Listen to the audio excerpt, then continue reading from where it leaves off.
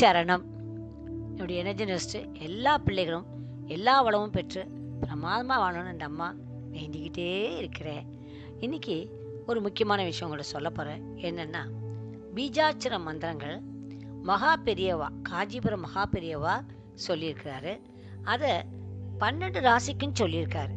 அந்த பன்னெண்டு ராசிக்குரிய மந்திரங்களை இப்போ நான் உங்களுக்கு சொல்ல போகிறேன் அதில் ஏன் அப்படின்னா கலியுகத்துக்கு என்னென்னா நாம ஜபம் மந்திர ஜபம் இதை சொன்னால் போதும். இல்லை நம்ம யாகங்கள் வளர்க்குறதெல்லாம் இந்த கலியுகத்துக்கு அவ்வளோ தேவையில்லைன்னு கிருஷ்ண பரமாத்மா சொல்லியிருக்காரு. அதனால் இந்த பீஜாட்சர மந்திரங்கள் என்னென்னா அது சீடு ஆஃப்டர் த லைஃப் அதாவது ஒன்று பிறப்புக்கு என்ன ஒன்று சீடு வேணும் இல்லையா? ஒரு ஓவம் ஒரு ஸ்பேமு ஒரு இது என்ன விதைகள் ஆழ விதை மாங்காய் இதுக்கு விதை. அப்படி நம்ம ஒவ்வொன்றுக்கு விதைகள் சொல்கிறோம் இல்லையா? மா இது. ஒவ்வொன்றுக்கு விதை இல்லாமல் ஒரு இது வர முடியாது.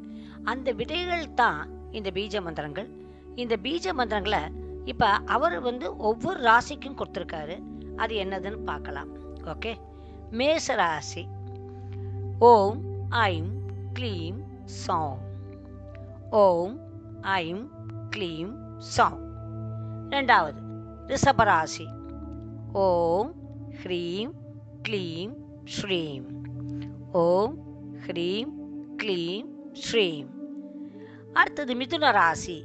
ஓம் ஸ்ரீம் ஐம் சௌ ஓம் ஸ்ரீம் ஐம் சௌ அடுத்தது கடகராசி ஓம் ஐம் க்ளீம் ஸ்ரீம். இது கடகராசி சிம்ம ராசி. ஓம் ஹ்ரீம் ஸ்ரீம் சௌ ஓம் ஹ்ரீம் ஸ்ரீம் சௌ அடுத்தது கன்னி ராசி ஓம் ஸ்ரீம் ஐம் சௌம். இந்த ஆறு ராசிக்கு நான் இப்போ சொல்லியிருக்கிறேன்.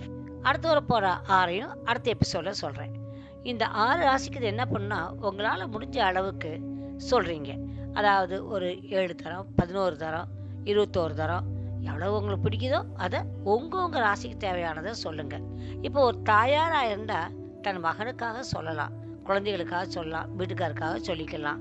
புரிஞ்சுதா? அதே மாதிரி யாராவது அடுத்தவங்க நல்லா இருக்கணும்னு நினச்சா அவங்களுக்காக சொல்லிக்கலாம்.